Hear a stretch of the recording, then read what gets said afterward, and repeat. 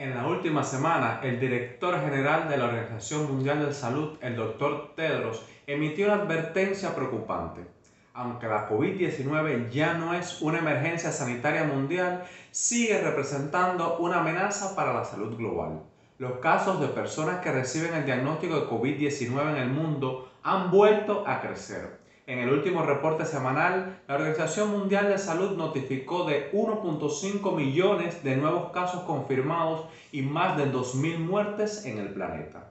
Se experimenta una ola de verano de COVID-19 con un aumento en la mayoría de los indicadores, incluidos los ingresos hospitalarios y las visitas a urgencia. La subvariante ERIS parece estar impulsando esta ola ya que es la cepa dominante de la COVID en muchos países. Mientras tanto, la OMS ha advertido de una nueva variante de COVID-19 que vuelve a poner al planeta en estado de alerta. Se trata de la BA2.86, también llamada pirola, catalogada como sublinaje de Omicron y detectada por primera vez el pasado 13 de agosto.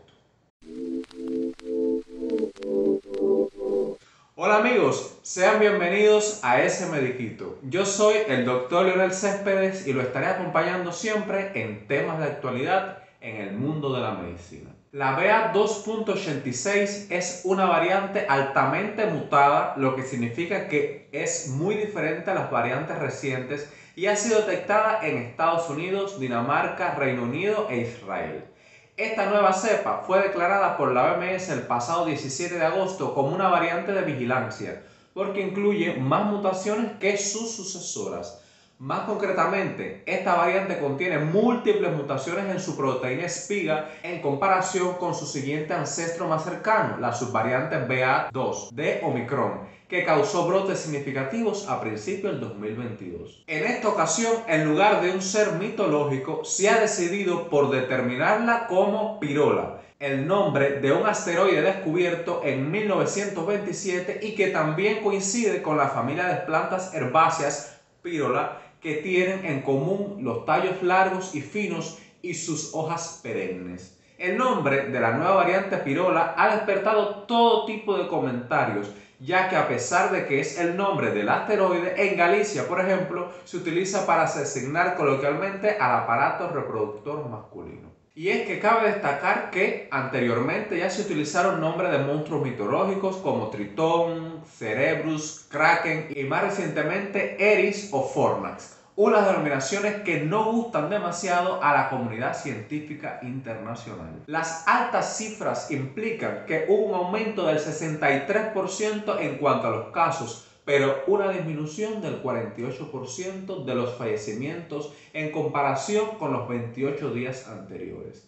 La Agencia Sanitaria de la ONU también declaró que en sus reportes tiene limitaciones porque no todos los países están haciendo testeos a personas con síntomas ni tampoco reportando la cantidad de fallecidos. El aumento de COVID a nivel global se ha relacionado con los sublinajes de la variante Omicron que van ganando predominio en la transmisión del virus. El aumento de casos de COVID a nivel global se ha relacionado con los sublinajes de la variante Omicron que van ganando predominio en la transmisión del virus.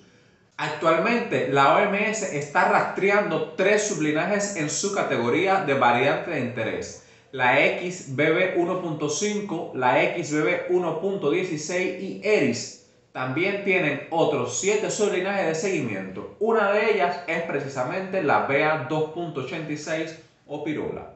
En Estados Unidos, los datos más recientes de los CDC muestran que los indicadores, incluidos los ingresos hospitalarios, las visitas a urgencia, la positividad en las pruebas y los niveles en aguas residuales siguen aumentando a escala nacional. Los ingresos hospitalarios aumentaron en un 21% entre el 6 y el 12 de agosto. Las muertes aumentaron un 21.4% entre el 13 y el 19 de agosto. Además, las visitas a urgencia por COVID-19 aumentaron de manera significativa entre los niños menores de un año.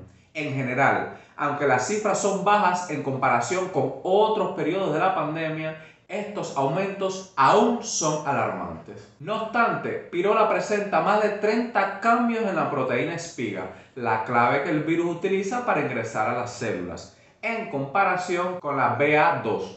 Expertos como Jesse Blum, biólogo de la evolución viral del Centro Oncológico de Fred Hutchinson en Seattle, Washington, señala que esta variante podría haber surgido a raíz de infecciones crónicas del SARS-CoV-2 ya que se han observado numerosas mutaciones en la espiga en individuos con infecciones prolongadas. El linaje de la BA2.86 o pirola está generando inquietud entre los investigadores quienes intentan determinar si esta variante altamente mutada del coronavirus representa preocupación mundial genuina o si la alarma resulta infundada, como ha sucedido en las ocasiones previas. Se ha observado cierta similitud con el inicio de la propagación de la variante Omicron a finales del 2021 cuando científicos sudafricanos detectaron un linaje peculiar que se expandió rápidamente a nivel global. La preocupación radica en las características de pirola. A diferencia de las variantes anteriores que obtuvieron algunas mutaciones claves para su propagación, esta variante es radicalmente diferente a las versiones generalizadas del virus. Su aparición recuerda a los inicios de variantes pandémicas como Omicron, Alpha y Delta. Pirola se destaca en el árbol genealógico de las variantes por lo mucho que se ha transformado. Los expertos creen que los anticuerpos generados por las infecciones de variantes anteriores tendrán dificultades para reconocer el nuevo sublinaje. Dado que Pirola presenta numerosos cambios regionales en las proteínas espiga, donde los potentes anticuerpos bloqueadores de la infección se dirigen, es probable que la variante pueda evadir alguno de los anticuerpos generados por las infecciones pasadas o dosis de refuerzos de vacunas. Además, la distribución geográfica de pirola es otro motivo de preocupación. Los casos identificados hasta ahora no parecen tener relación entre sí. Incluso los casos de Dinamarca se encontraban en diferentes áreas del país. Esto sugiere que la variante podría estar ampliamente dispersa. La Agencia de Seguridad Sanitaria del Reino Unido señaló que uno de los casos del país no tenía historial reciente de viajes, lo que sugiere una posible transmisión comunitaria interna.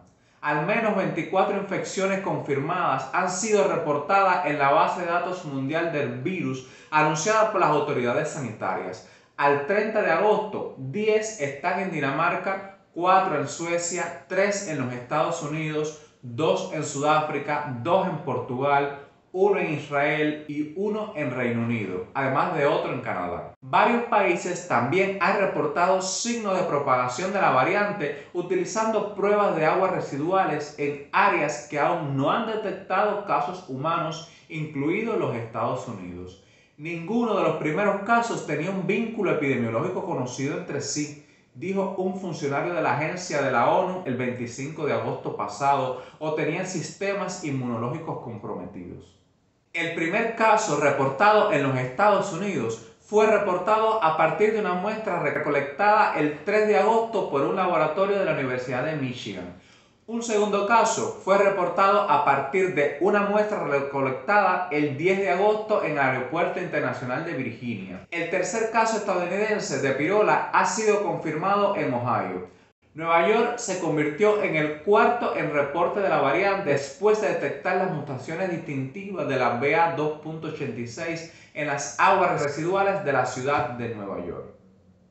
Hay algunas anécdotas tempranas prometedoras, pero por ahora es demasiado pronto para saber con certeza si BA2.86 o pirola causará síntomas nuevos o peores. El Departamento de Salud de Michigan dijo que su caso fue un adulto mayor con síntomas leves y que no ha sido hospitalizado. El viajero en Virginia está asintomático según los metadatos presentados por los contratistas de los CDC. En Dinamarca, el Stein Serum Institute del país dijo que sus primeros tres casos no tenían síntomas, aparte de los que normalmente se observan en el curso de la COVID-19 las autoridades sanitarias canadienses hicieron declaración similar sobre su caso, que no fue hospitalizado. La aparición de la cepa se produce cuando las hospitalizaciones por COVID-19 ya habían aumentado impulsado por variantes menos mutadas. Hasta ahora, estas tendencias no parecen empeorar en torno a los primeros avistamientos de la cepa.